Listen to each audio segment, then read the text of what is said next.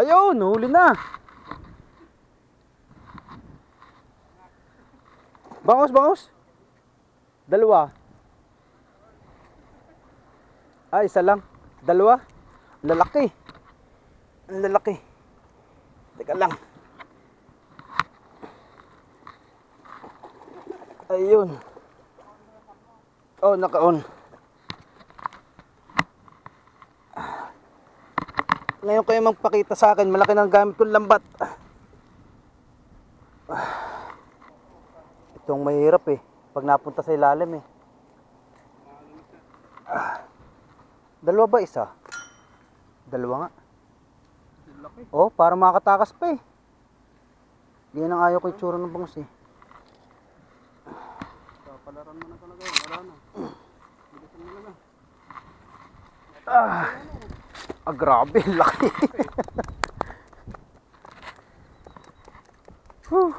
Kung kailan naman ako doon naka-live. Mag-live nga ako. Lang. Mag-live ako mga kanglog, ang laki oh. Jamba ulit.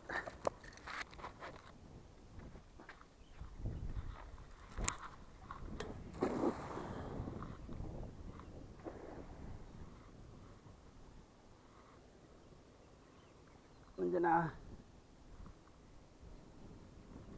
Nisda ba? Nisda. Ah, sabitan. Wala.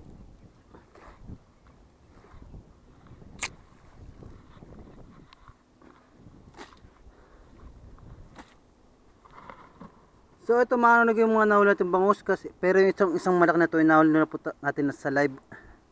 Tapos ito sa vlog. Ito kasi ayaw pauli sa live yung mga bangus eh. Sa vlog sila nung kapahuli. Ganun talaga eh. So sa mga ano nagkasabi na fish pond yung inulian namin. Ah, ganyan po pala ako yung ilog niyan. Yan. Yan kabilaan po. Ang napakalako na ilog niyan. Tapos sa kabila po yung papunta ng dagat. Ito malapit na po sa dagat. Mga ilang kilometros siguro mga basta po. Hindi ako magaling sa mga kilometro. eh. Ayan, yan dire-diretso na yan.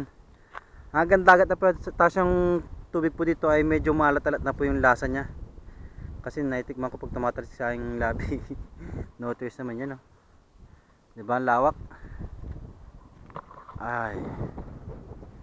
At ngayon, balik tayo sa ating mga bangus. Yan, oh. Ayan. Sheesh. Malaki tong isang to. Pito pang sinigang. Tapos yung dalawa, pamprito. Tapos saka natin gisa sa kamatis. Ganon. Sarap niyan. Ah, so,